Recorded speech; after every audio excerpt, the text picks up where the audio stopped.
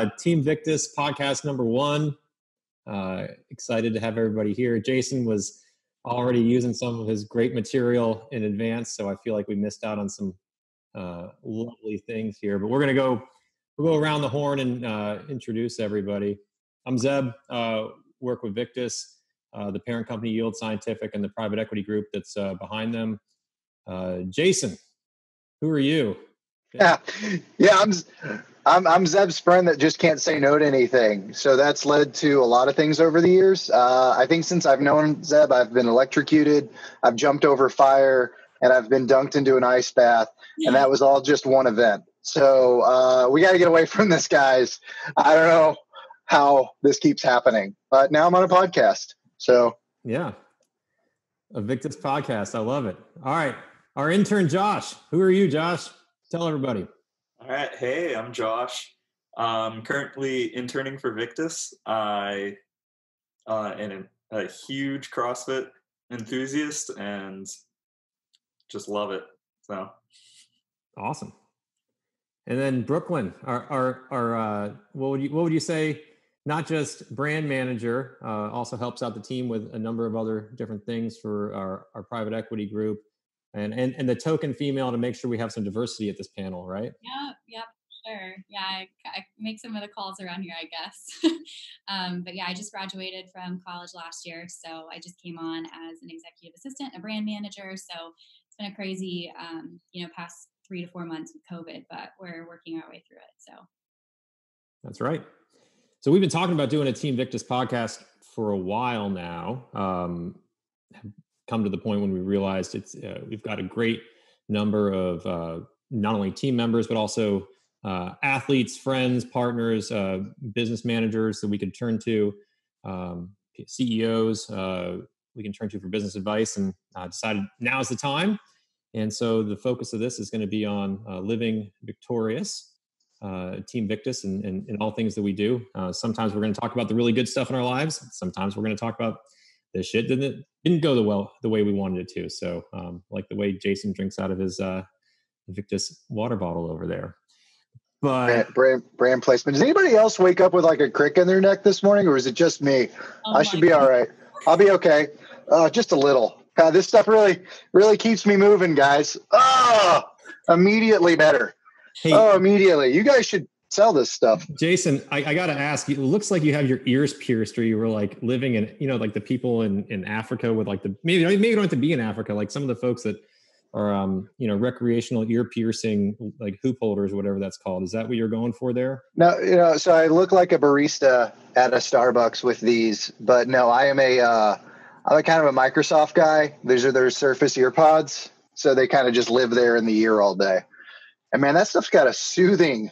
I mean, that is that's a minty feel to it. I love it. Uh, but yeah, that's I I live with these in my ears. I forget they're there. The barista, the barista at uh, Starbucks was a nice touch.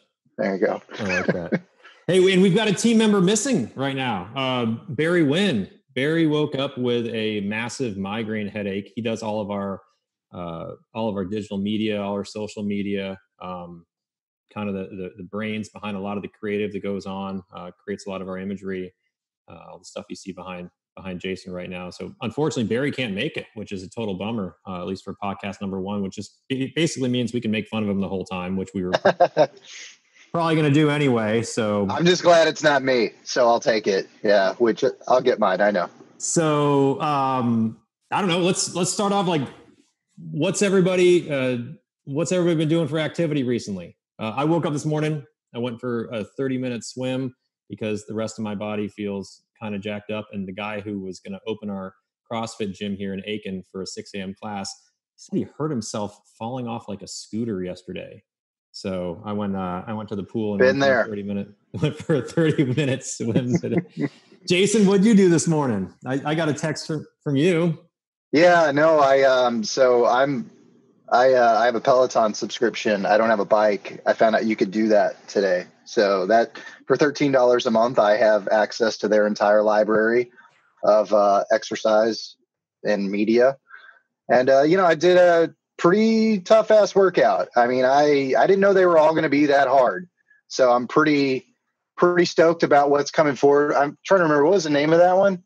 It was the it was one of their yoga classes. Recovery yoga. Recovery yoga. Yeah. So a lot of savasana, which is um, not just a salad dressing, and a lot of uh, they call it child's pose, which is more challenging than most people think. So uh, real real strenuous morning. Plus, I chase a toddler around, so that's most of my cardio these days. So I was say you get really big cardio workout on uh, on child's pose in in yoga, right? I mean, Elliot's getting heavy, so at least this side of my body, the pick up kid side, ripped, super ripped. Ready for the Olympics. okay, all right, let's calm down. I don't know about that, unless there's like a baby Olympics. So which I would totally put my child in. Now, now hold on. Technically, we're, we're going to get to you in a second, uh, Josh. But technically, we did the Fat Boy Olympics a couple of years in a row, Jason. Mm-hmm, mm-hmm. I so I surprised everyone when I didn't win, because um, apparently I can't fit that many donuts in my mouth, which I'm proud of to some degree. I am. So I, I forget who there was a trophy. Some, give, give some context around what the Fat Boy Olympics were, Jason, because most people don't know. Yeah, we tried to generate something I could actually win um, that sounded like a sport. And so Zeb and a couple of the other brain trusts from our UDIC crew created the Fat Boy Olympics. Um, there were a myriad of different challenges. Donut eating. Uh, didn't you have to like define the donut blindfolded, like what you were tasting? Um, I'm sure there was a heavy amount of drinking in there as well. Um, I did not hold my own. And again, I, I disappointed a lot of the fans. And I hope to get that donut shaped trophy very shortly. We, we haven't done that since the first year. We could probably do like a virtual version. Chris has the trophy. So if you're looking behind your back, you no longer you're no longer the fattest. Oh, you do have it. Oh no. Oh boy. Oh gosh. Have you guys ever been to, to Zeb's place? Yeah. yeah. Okay. So can we talk about how many photos of? yeah. Oh my god! It looks like a Krispy Kreme. Look at that. You guys see that? World champion. Oh. I love it. So what what year was Chris? Who cares? Did he actually really win or did he stole the trophy? Oh, you just brought it last time. He probably tried to eat it. He probably did try to eat it. So and I do promise we're going to talk about this, but we got to kind of probably explain what the whole UDIC thing is. So we got a group of guys in CrossFit that we all kind of met in in Indiana, and there was a great gym we were going to at the time called CrossFit Carmel, um, and we all just got together and um, had a lot of fun and got some good fitness in. But uh, they had an event called the Gorgeous Ladies of CrossFit, which was uh, GLOC, G L O C for short. And we were sitting around one day actually kind of bummed because that event turned into this like massive, massive event across the Midwest and super successful. People are coming from all over, and and we didn't get any attention. And we like got none. we had nothing to do. We couldn't even. We could basically just go watch and cheer our friends on. So we got really angry. Uh, not angry. going, no, angry stuff. Yeah, that works. Yeah. We were drinking beer, saying we should really have our own thing we can do. So if there's the gorgeous ladies of CrossFit, we should be the the ugly dudes of CrossFit. And then I think it was I think it was Chris Mason who was like, don't just be the ugly dudes of CrossFit. You doc doesn't work. But if you were the ugly dudes in CrossFit, then we could be the you dicks. And all we could do is make fun of each other the whole time. So we are the you dicks, um, the ugly dudes in CrossFit. And hopefully CrossFit, we're not uh, we're not selling shirts. We're not trying to take any profit off this. This is just our uh, annoying group. Please don't no no legal action now that Greg Glassman's gone. Thank goodness. We do have shirts though, lots of shirts. We just don't sell them for profit. Um, so that's what this is. This is the uh, it's the ugly dudes in CrossFit World Championship for the Fat Boy Olympics. That's what this that's comes amazing. from. Yeah. All right. Enough enough of Jason and I yapping. Josh, uh, you're you're an intern. You're a CrossFit enthusiast. Uh, what? How would you get involved in CrossFit, man? So it was actually a little less than a year ago. Um, so beforehand, I was actually in powerlifting and like a little bit of bodybuilding. Um, and that mainly came about because one of my friends in college wanted to uh, learn how to lift. And I knew how to lift um, in high school due to my wrestling background. So I ended up teaching him how to lift. I got really into it. Then I was like, okay, I'm just gonna be a power lifter, do some bodybuilding on the side.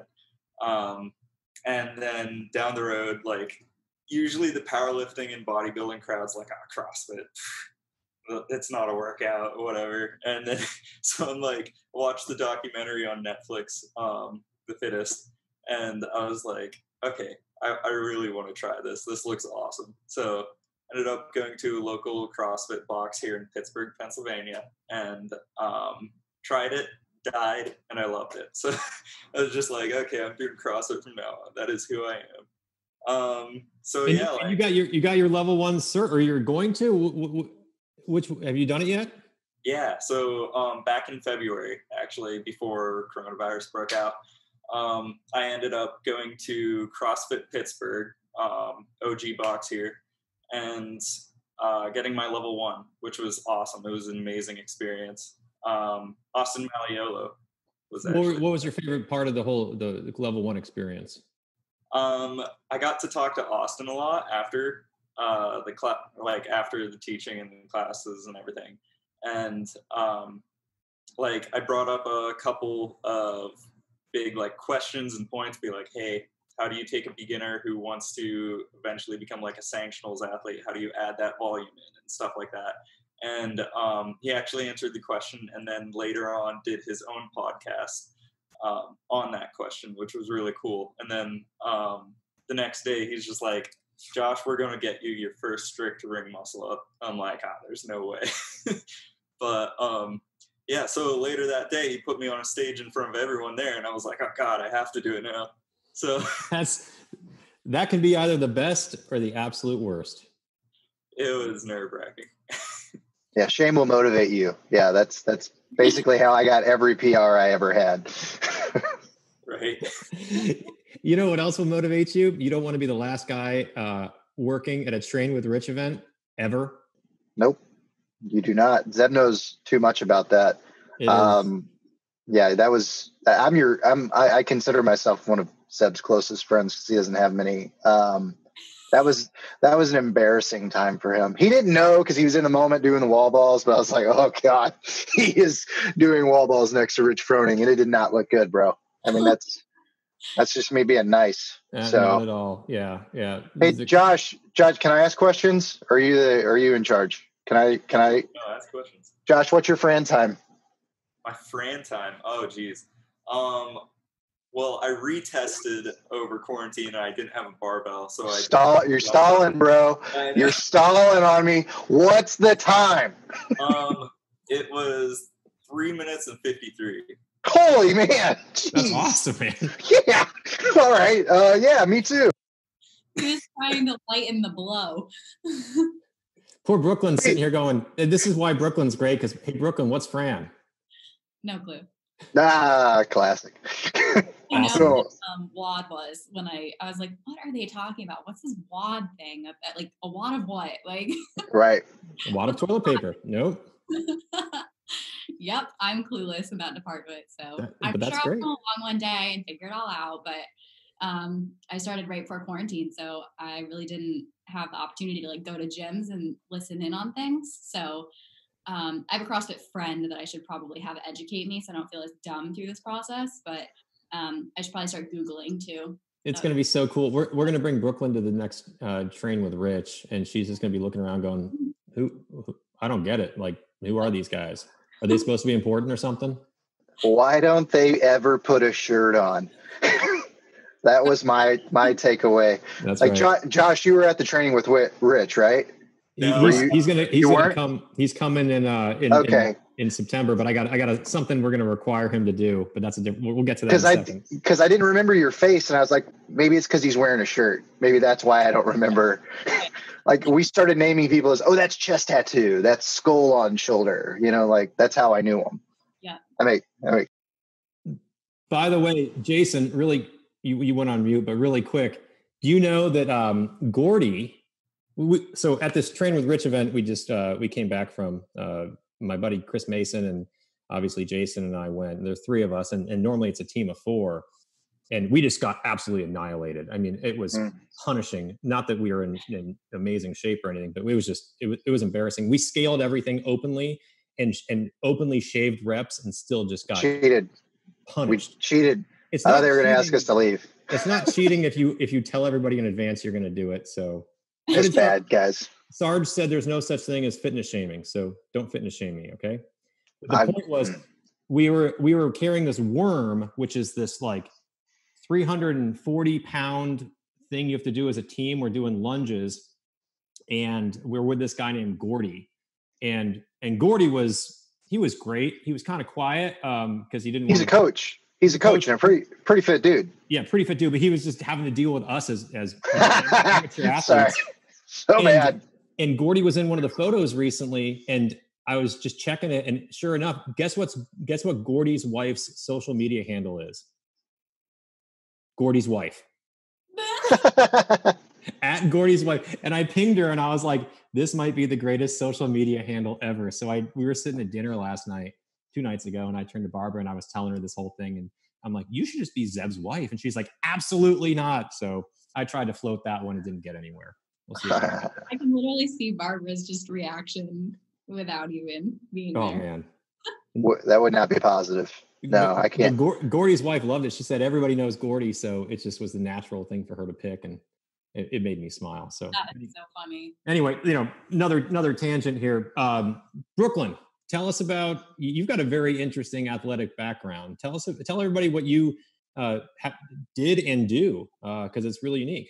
Sure. Um, so I guess starting um, at just being little, little, uh, I started playing softball when I was like five, and then I switched to soccer. Um, just kind of, you know, dabbling in everything like little kids do. Um, I feel like parents kind of just, if their kids don't have a specific direction that they want to go and they just kind of have them try everything. So I did a little bit of volleyball. I ran track briefly uh, at a private school in middle school. And then I found horses. Um, so I've been an avid equestrian for about 15 years now, and I'm 23. So if that says anything, I've been riding my entire life, but still trying things here and there. Never tried CrossFit. It's on the list. Um, so once you know all this social distancing stuff's over, I'm sure I'll go to a gym. Um, but I've been riding for a while. Um, I homeschooled through high school so that I could like ride, travel, compete. Um, I was really competitive. Um, but yeah, I mean, it's really shaped me as a person. Um, I had to homeschool myself, so that was a challenging task through high school. Um, and Were, then were I, you were you living at home? Where, where tell everybody where home was and, and where you were living at the time. my my family raised me in Michigan. I moved to South Carolina when I was about ten. Um, my dad had a job that brought us down here, so we just took our family and kind of plopped in South Carolina. We lived in Lexington, South Carolina, and I was training a little bit in Aiken before I started being what they call a working student. So I would go basically live in with families, and it was mainly like I started off living um, near a place in I guess Camden was where I started, and I worked there for like three years. So I lived in. How, how, how old are you at this point? If you're li- are you living with these guys? Yeah, I was 15. So they had like a little house that I stayed in near the farm. So they kind of covered my housing, but I worked like for free. Like it wasn't paid. Wait a second. I, I I've known you for a long time, so I just got like you were you were 15 and you weren't even living at home. yeah, so I was homeschooling by the age of 15. So, Not homeschooling yourself. It's not like your parents were doing it for you. yeah, so I had like She- She's downplaying this horse thing. Something's going on here. This was a big deal. Like this was huge. She was It's she like it was my life from so early on so it just feels like normal. Like that's just what should have happened but um so yeah i like finished up eighth grade at a private school and then my parents didn't like ship me off or anything. Like it was very like i asked for it. Like i was like please let me do this. Like this is what i love. Um and it was just so expensive for me to be competitive at the level that I was competing. So they kind of just were like, here, we're going to find a great coach for you and a great trainer so that you can, you know, they would have clients. The trainers would have clients and they would have horses that needed to be horse shown and competed and ridden at home and, you know, trained. So I would train them at home and then ride them in competition. So it was just a great opportunity because I was riding, you know, half a million dollar animals, which was not possible financially for my parents, which is totally understandable, but it was just the way it had to be. So I would just live in with these people. So I lived in Camden for a few years and then I went and worked in Atlanta for a while. Wait, I, I, I got to back up. I got, I, so you're on top of a $500,000 horse. That, was that like a regular thing that happened? Pretty much. Um, you know, they're all not, they're not all that much. Um, you know, there's a few here and there that are kind of sketchy and just need a little help. And, uh, they're just kind of like diamonds in the rough, but I mean, a lot of them were that expensive, honestly. So, what was the most expensive horse you think you've ever been on, if you had to guess? Um, probably, I think one of them was like seven hundred fifty. What was that horse's name? Um, because like I'm just picturing like the horse races. Like as a kid, I used to stay up late, and they would, you know, they'd all have these wacky it was names. Sea, it was Seabiscuit. Is that what you're thinking? It was City of Angels. It was a horse in Atlanta, um, but it was just a very like it's kind of hard to explain the whole um, industry within you know five minutes. I don't want to spend the whole meeting talking about it, but there's just a lot of different um, like areas. There's a lot of different disciplines. So some of the disciplines, you know, people don't spend as much on horses, but I guess you always can. There's always that option, but it's not as rare in the hunter jumpers or the jumpers or the equitation, which is a completely different discipline from like dressage, Western pleasure, barrel racing. We don't race, um, but I, I've always just competed and done jumping. So, I mean, Wait, but so you're you're on top of this City of Angels seven hundred and fifty thousand dollar horse. How yeah. old are you at the time? Um, I think I was like seventeen by the time I wrote that one. Are you nervous? I mean, that's like. I mean, it's like not even. It's like, like you're like driving like five Lamborghinis almost. Oh, I know, and it's like it's crazy that people you know are that invested in the discipline. But I mean, it's addictive being in the horse like in the horse industry just in general. Um, but were you nervous? Not really, no. Because I guess at 17, I just didn't even have, like, I couldn't even grasp the reality of it because I really had no idea, you know? Like, now looking back at 23, it was like, you feel kind of crazy. You're like, I was just like either so naive or just like wasn't paying attention at all. So um i mean they weren't all that expensive but like you know every once in a while like they wouldn't even tell you though. That's the thing like you just knew the horse was nice. You didn't know how much it was until after the fact. That's probably smart. You're better off not knowing or else you'd be you didn't know. Well, well, hold on. I gotta i gotta i gotta interject here. So what are you doing on the horse is this like the like are you because like i grew up in houston yep i went to the rodeo yeah i know what they i know what they did with their horses yep. are you like rodeo styling are you doing the horse, the dancing thing? Like, you know how they do the little trots? Dressage. Yeah. the, assage? The dressage. Dressage? Yeah. So, With a D? Okay. So basically, um, it's. Teach me. How is this? What's going on? So usually, if you watch the Olympics, it's it's an Olympic sport, but they also have separate disciplines in the Olympics. So they they do the, dressage in the Olympics they do the show jumping, which is closest to what I do, and then they have the eventing. And the eventing is crazy because they're all solid. They're it's like an endurance type thing. So they're jumping these huge, like widespread, like almost like fall. They're like fallen trees put together, uh, basically. And there's like ditches and banks and water, and that's really intense. That's not what I do. It's super dangerous, but um, I do the show jumping side of things. Um, it's obviously amplified in the Olympics because they're massive. Like you stand underneath them and you just look up at the fences like they're huge. But when the rails come down and they're in like jump cups on the standards, that's what I do.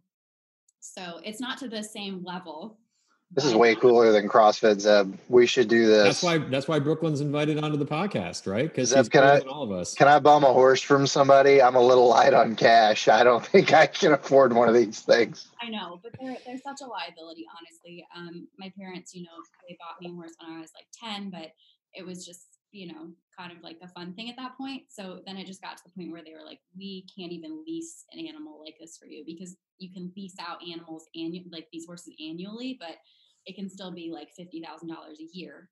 So, you know, it's still crazy. Like it's still crazy amounts of money. Um, now, B, you did this all the way through college. Tell yeah. tell tell the guys. Um, we'll tell everybody who's who's going to see this. You know, you, you weren't just like showing up and maybe like competing every once in a while. Like you did this it was like four full years of of college. You went to multiple Yeah. competitions. Like, what what are some of your favorite competitions? What where do you place best at? Yeah, so I also was I while I was a working student and living like all over the place, I was on an equestrian team based out of Columbia. Um, they're actually in the neighborhood Ascot. I don't know if you guys know where that's located, but it's kind of like in Irmo area, I would guess. Yeah. Um, I was riding out of a team that was based out of there. We'd come together and practice like once a month, but I was competing so much that I couldn't really attend all the practices. So I would just meet them at competitions, but we'd compete through the year and you go ride these horses that you've never ridden before. So you basically draw a name out of a hat, you get on the horse and you compete against other people. So everybody's in the same boat. Um, but it's basically based on, you know, your position, the way that you handle the animal. Um, it's based on a lot of different aspects, but um, I did that through high school and it was called IEA, which is the Interscholastic Equestrian Association, which is then what I did in college, which was um, IHSA, which is the Intercollegiate Horse Show Association. Um, so I did that through high school and then college. Um, high school, my junior year, um, my team and I went to, well, I, honestly, so ninth grade through 12th grade, I went to the national level for that every year of high school and I always ribboned pretty well. It was either like, you know, first through fifth, and there's like 18 top riders from like the nation there. So there's like a regionals, a zones, and then there's nationals. So regionals, obviously regional, and then zones would be like your 10 nearest states. Um, so you had to place like, you know, first in your region to make it to zones. Zones, you had to place top four, and then nationals, it was just like, you know, there were final, like semifinals and then finals. So I usually was like first through fifth in my divisions through high school, um, and then my team and I won nationals my junior year as a team. So you can either You won. You you you were a national champion in in equestrian. Yeah. So More more importantly, if you were a national champion, why is that ribbon not behind you so that we can see it on the wall? it's in a box. It's in a bo- It's in a box? Do you want me to go get it? Why would you not have that hanging up? It's in there. It's in my living room. Wait, wait. So, so it's not like in a cardboard box in like a closet. You mean like it's framed? Yeah, it's like in a glass shadow. box. Okay, okay. That's that's. I feel a little bit I better. have all my that. big framed. Next time next time we do this, if you could just kindly, just for me, have this behind you, that would be fantastic. Go go get it. It's it's not that I don't believe you. I 100% believe you. I just I what is a horse ribbon? It oh okay, we're going okay. Going on a little adventure. This is great. House is kind of a mess, but um, hang on, I'll show you guys. Oh so, oh so they are up. These are my big-ish ones. So those are. I'm trying to find where the. Dude, It's one of. It's either. It's legit. it's one on the right. you were playing this down way too hard up front. It's just a normal, but it's crazy that people spend this much money to we like literally compete for ribbons and like free prizes. So let's let's put out there. Brooke is a certified badass when it comes to horses. Have you ever been kicked off a horse, or what's that term? Thrown off a horse, whatever they say. Yeah, I actually had a pretty bad accident when I was like 14 before I started like living with people. Um, and the horse stood up like on its back legs, like it's just two back legs, so the front feet leave the ground. And it lost its balance and like fell backwards and like landed like directly on top of me. Like sometimes they fall to the side and they kind of just like squish one of your legs and you kind of like find a way to like not get your feet caught and just like stay on the ground when they get back up. But um yeah, it, it hurt pretty bad. I had like internal like bleeding and bruising like in my thighs. and I, I thankfully didn't break anything. I've never broken a bone um, somehow, but I've fallen off probably close, probably between like 50 to 75 times. Oh my gosh. Um, but That sounds that sounds like how I felt. I don't know about you, Jason. After I came back from training with Rich and ended up having to use as much of it. I mean, it's probably a fair, it's probably a pretty fair comparison if I really think about it. Yeah. Mhm. being flung to the ground. Um, Ugh. places I worked, they had a lot of young like babies. So I'd ride like the three and four year olds, and they don't really have a concept of behaving. So if they don't get sent to be broke by like an actual cowboy when they're young, like they're Hmm. just super crazy. So I just dealt with a lot of that. But yeah, I basically live in with whoever I kind of like bounced around through connections, but like some of the ladies that I worked for brought me on because they were pregnant and then they had their child and I would like switch shifts with them to like watch their kid and then go work in the barn. So I was kind of like a live-in nanny through high school too, which taught me a lot at a young age because at 15 I was like with infants. So it's just like very eye-opening, which was great. So I kind of learned the best of both worlds, like running, a, you know, an equestrian farm like a business, and then raising a child in a way. No, it's. I mean, so Brooklin is a badass. Josh has a Fran time I'll never touch, and I had macaroni and cheese last night for dinner. That's why I want that to be the takeaway, guys. That's that's what it is. No, no surprise here, J- Jason. How am, Zeb, how am I here today? so you know, you know what's really part of this this ugly dude and CrossFit group is everybody gets a nickname. I got to figure out what what um, Josh's is going to be. I might have an idea on that. But Jason, we've got a new nickname for you, man. Uh-oh. All right, what was wrong with the old one? The old one seemed like pretty fitting. Yeah, it's also your Peloton name, which is not cool. You don't get to choose Hollywood 1768 or whatever it was. Uh, 1738. That was a nod to the Trap Queen song. Oh my gosh. Thank you. Brooklin gets it. Zeb's too old. Josh, 1738. Uh, At least Brooklin. Brooklin's tracking with me. Brooklin's tracking with me. I'm the only 34 year old you'll know that just uses that number for everything. So. All right, I have no idea what you're talking about, but I'll I'll send you the song later. It was uh, thank you. There's a whole thing. Um, I don't need a new nickname though. Yeah, no. So I, I don't want to give it to you now because it was kind of Barry who came up with some of this. So you're gonna have to wait in suspense, uh, maybe for a little while before you figure out what your your new nickname is gonna be. But classic Barry. Classic Barry, who who didn't come today. By the way, has I've never had a migraine in my life. I mean, knock on wood. Thankfully, poor Barry's out with it. But like, have you guys ever had one of those? Not that major. No, my mom suffered from them, and they were they would put her out. Like it was bad. Yeah, Josh, you were saying? Yeah, no, not that badly. Um, I mean, I've had headaches. Usually, it's like from caffeine withdrawal. So that's. I mean, I get I get that too, and um, you know, hence the reason I'm sitting over here drinking espresso. But um, yeah, I never had one. But I mean, gosh, poor dude. He literally sent out a text this morning. and was like, "I'm laid up and I cannot be. I, I won't be able to do anything." So we'll just have to continue to make fun of Barry and hope he can join next time. Um, but I was gonna. So Josh, back to you really quick. So for context for everybody, one of the things Josh just came on as an intern for the summer. Uh, one of my commitments to him was uh, at the end of this, assuming you know he didn't steal all uh, steal our money and product or and he did a decent job.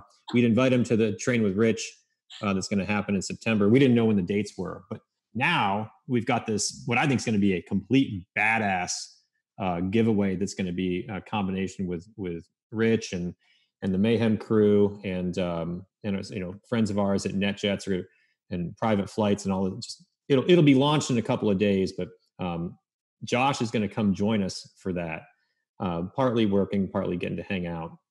And so, as the new guy, I didn't know if it would be appropriate that you know we spend the first hour when he's in awe of all these heroes, but we make him go up to everybody. He can't say a word, and if anybody asks him a question, Jason, all he can say is, "I am Batman." I mean, is that it's not technically hazing, but like, would that be frowned upon? Do you think in the world, or could we have a little bit of fun with that? Is is, oh, is our culture too politically correct that we can't we can't um, give Josh a bit of a hard time and make him say I'm Batman. So Rich walks up to him and says, "Hey man, I'm Rich," and all he can say is I'm Batman. Can, can he change it? Can he change it around a little bit? Because like I'm, I'm, I'm thinking I'm what open to ideas. Let's let's brainstorm he, this. No, no, no. What I mean by that is like no, he can only say I'm Batman, but can he be like, Hey, I'm Rich. What's your name? Ah, man, um, I'm I'm, I'm Batman. you know what I mean? Like kind of change change the cadence a little bit. Cadence and intonation. I think as long as it's. I'm looking out for them. I'm good. I think that's fair, and I think expected um, by the crew. You know, I'm, we're not going to get in trouble from anybody out there in the world of. Well, I'm sure we are. I mean, half the people are going to hate us anyway. I bet. No, well, at least half the people are going to hate the election outcome anyway. That's a whole different thing. But um, so, is an hour enough time? Do you think that's a good? You know, the trainer train with Rich program is that a, is that enough time? That's so mean. That's so mean. Because I remember the first time I met Rich Froning, uh, and then the second and third, it, it kind of it wears off like anything else, right? But like, it's the last thing you want to do is tell him you're Batman. Because here's the thing about Rich: he's a funny dude. He appreciates humor, right? But he's not going to know what the hell you're talking about until much later. So um, That's why it's gonna I think it- great. I think it's very fitting. Perfect. Pa- Pancheck will be there, I'm sure. Or is this like a is this at Mayhem? It'll yeah, it'll be it'll be at Mayhem. Um, don't know don't know who who on the team's going to be there. Of course, Oh, that's you know, fair. Yeah. the usual folks, um, Tasia and Ellie and and everybody else. Rory McKernan, Rowe. I think that's going to be great. Oh, it's gonna be Rory awesome. follows me on the gram now, so I don't know if I'm becoming Insta famous or how that works exactly. Um, I coined something new with him the other day. I was really proud of myself. Um, hashtag Row is slow. Row, Ro. You know, he goes by Row? Row. Oh, wow. Row is slow. I, it, it was funnier when I said it to myself. I obviously got a great reaction here from everybody. Thanks. I feel like I got like I got tagged on something on the gram.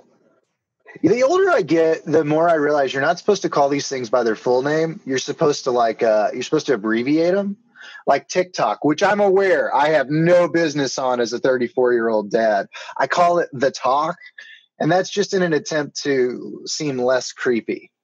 I don't think it works though. So you just took the gram and you moved it over to the talk. Yeah, you add the in front of something and shorten it a little bit. It's how it's how you stay relevant. Zeb. Josh, Josh, are you on TikTok? Because I most certainly am not.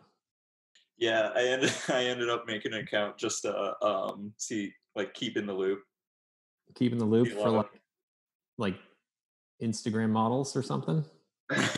No, um, I'm on like the comedy side of it. It's like it's funny. There's like a dance side to it, which I have no like Mhm. that is not my area. I cannot dance. I learned so my daughters do this song. It's like the wow. That's it. That's the one. The thing with the touchy. Yeah. Yes. And then they, you know, ah, what's that? It's um Savage Love. That's the that's Yeah. the song. Yeah. I didn't know the song's name. I just knew I heard it. I was like, that's actually a kind of a catchy tune. And like, So I- I figured out and downloaded it. My wife doesn't know how I know most of the current music because I don't listen to the radio. And she's like, How do you know that song? And I was Like, like, Trap Queen. Trap Queen, uh, which is, I think, a little pre uh, pre talk. But she's like, How do you know the words here? I'm like, Oh, you know, it's radio. I don't want to tell her, like, I, for whatever reason, will find myself on TikTok. Have you guys, do, so everyone but Zeb has a TikTok. Brooklin, do you, I- you don't do the talk? All right. Well, then this, People, I people are like China stealing your data. I'm like, I don't know. I just Oh yeah, China. They're gonna take it anyway. Don't worry.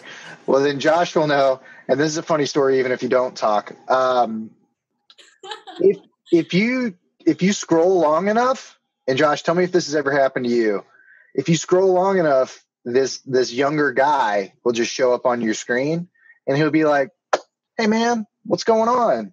Maybe go outside for a little bit. You know, have some physical activity. Go see some sunshine." It's like, and it's like you're shamed because you're like, "Oh shit, I've been doing this for like probably 30 minutes." You know, time gets away from you, and you're like, and they know I'm pathetic. All right, cool. That's typically when I'll close it down. Does that Have you to ever- everybody?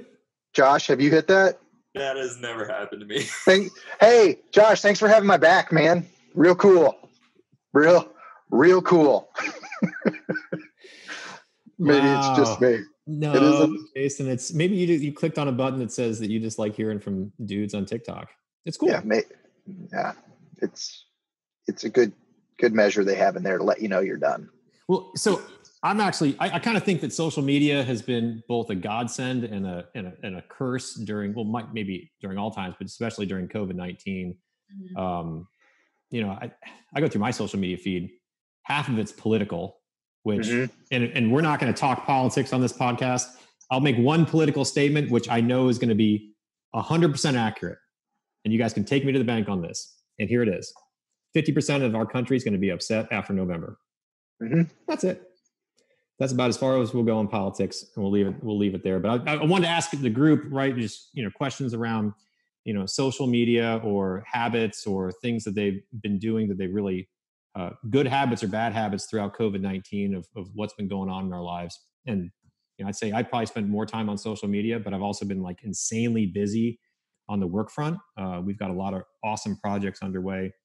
This train with Rich coming up is one of them. All the stuff going on at Victis, uh, all the stuff going on in our private equity group. So we're insanely busy. But um, I've had a lot of really good things from a business standpoint, but I've also watched a lot of my friends who've who've struggled. So it's been Mm. pretty sobering on that side. But you know, what are you guys seeing? Uh, really good stuff and, and maybe not so good stuff during all the COVID. Maybe said another way, are the things you're the things you're thankful for, or you've realized you're more thankful for during all this? Yeah, I guess I guess if you guys are okay with me starting, um, I have a few just little comments. Is that okay? Of course, get Yeah, after it, B. absolutely. Okay. Um, it's been really great to still, in some shape or form, feel connected to your friends and family that you can't see, um, especially right now. 'Cause I usually go home every summer and visit my family, but I just don't feel comfortable, um, you know, driving or flying to go see them, uh, flying commercially, just to try to keep everybody safe. Um, and, you know, it's been great because a lot of awareness about just I guess not problems um, in our society, um, but just topics have come up, and there's a lot of awareness being spread, which is fantastic. Um, but there's also a downside to that, like you know, really making sure that you either are not friends or just unfollow for the time being toxic people on social media platforms is really important um, just for everybody's mental health especially given the political state of the world so just making sure that you surround yourself with a positive environment um, given that you know we're not as social as we were before you know pre-pandemic Yeah. um, making sure that you're in a good headspace and you're not like um, you know just you know looking for the negative things going on in the world like it can be really scary I, I it feel like takes- everything's gotten so politicized. It's Mm. Yeah. that's actually you know, I try to promote dissenting opinions on a lot of the Facebook stuff or or you know social media stuff that I post because I generally found in, in business and in life that if you can't uh, have a healthy debate about conflicting ideas, then uh, you're going to miss out on a lot of things. But it's gotten social media's gotten so polarizing. Like people are everything is is like a has to be about a political statement of some sort. It's- oh, it's crazy, right? but it, it's awesome to surround yourself with people who are willing to have the debates in a healthy way because it's i mean it's always you know great to accept new points of view and learn from people especially as you know josh and i are like the you know the upcoming youth it's like super important for us to just be open-minded coming into the world so Did you Uh, just call Jason and I old? She did. I totally heard it. I totally heard it, and I love it.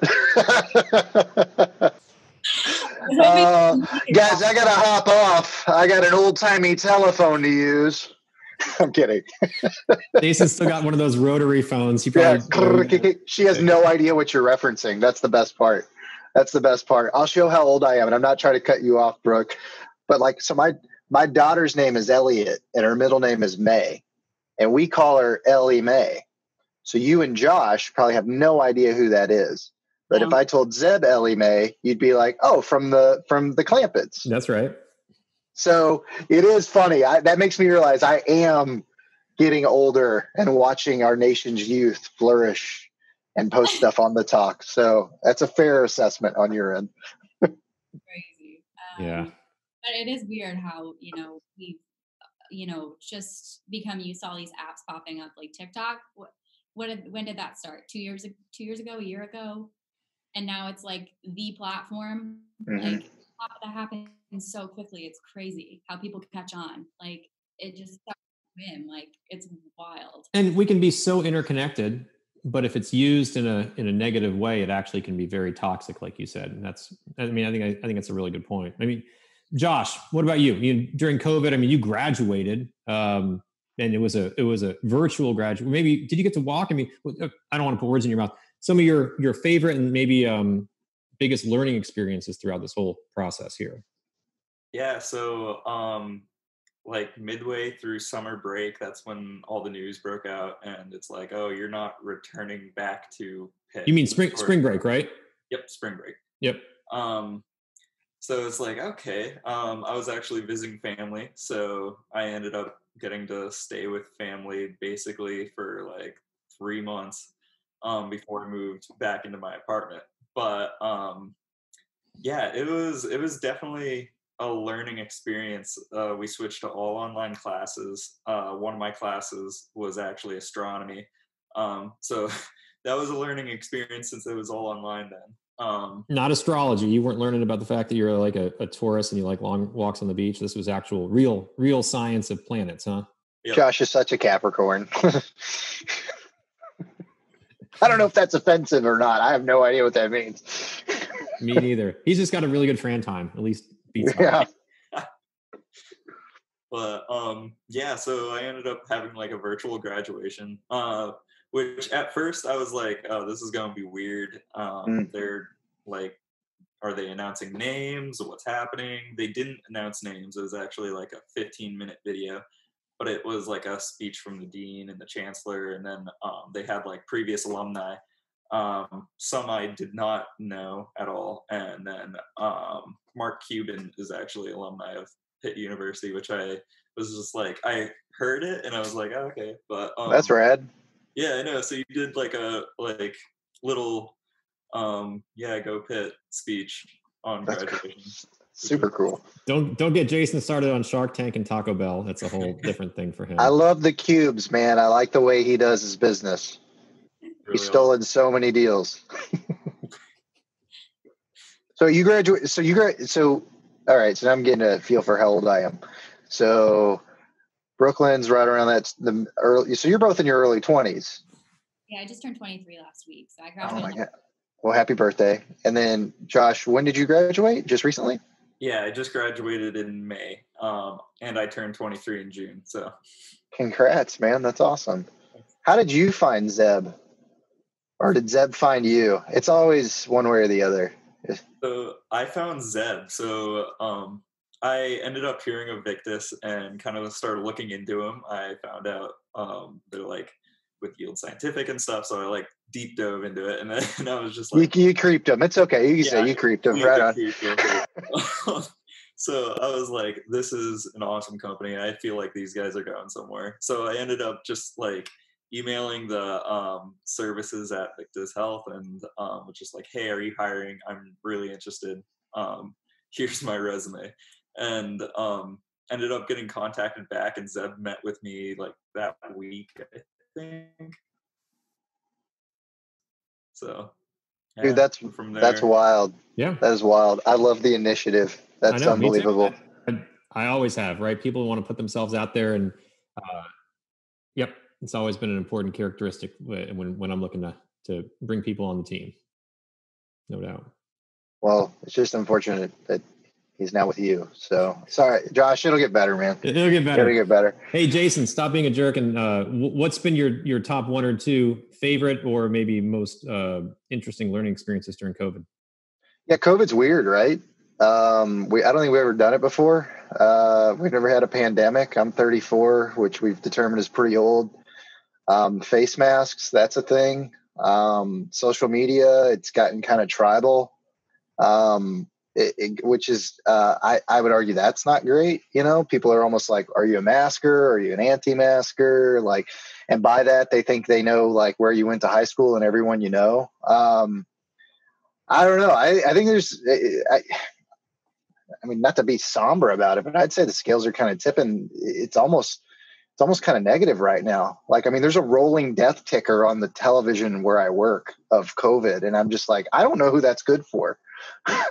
like, I mean, it's good to have awareness, and I think we should all be safe. But, uh, you know, as a, as a fresh dad of a two year old, I'm like, man, I just hope kind of all this goes away before she's old enough to remember what this is. Yeah, So, I'm I'm pretty optimistic we'll have vaccines and antibodies at least by maybe December, January.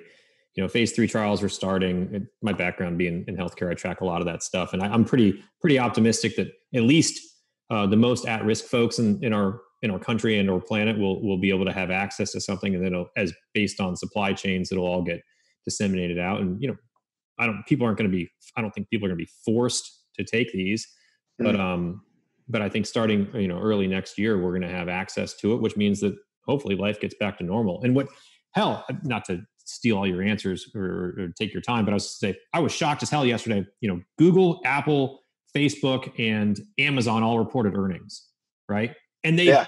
destroyed it.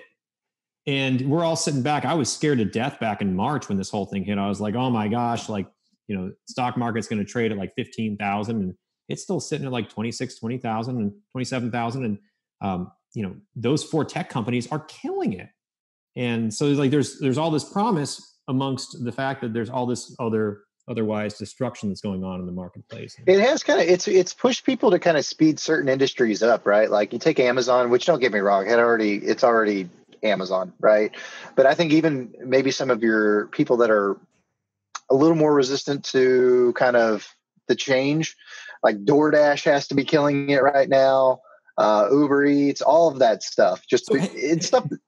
Go ahead. Did anybody? Did anybody? Um, first time I ever used a grocery delivery service from Publix. We've got Publix down here. They, they just happen to be, I think, a fantastic grocery store.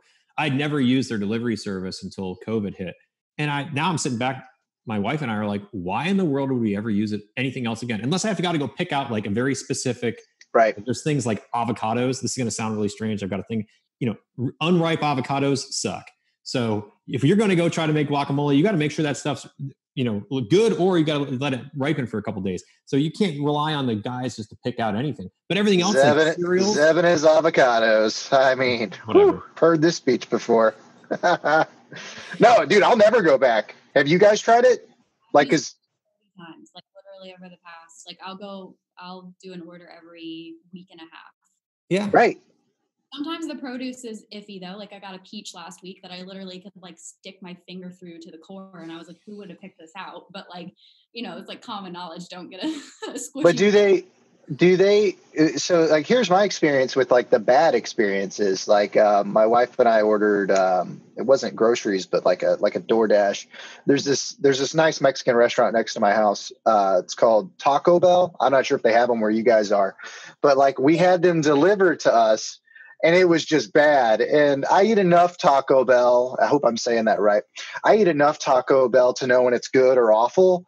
And we message them and we're like, God, dude, you're missing like half the order and it's really bad. Like, instantly got a refund. All of our money and the free shitty food was in my stomach.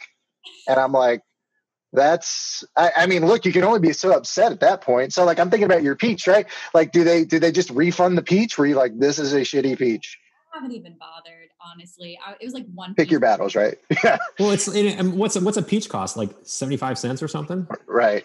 The grocery store. I don't like. I don't even like the grocery store in general before the pandemic. Like I was like, there's just people everywhere. There's kids mm-hmm. sneezing on it. Like, you know, you're just kind of like grossed out at the grocery store. Um, just eh, naturally.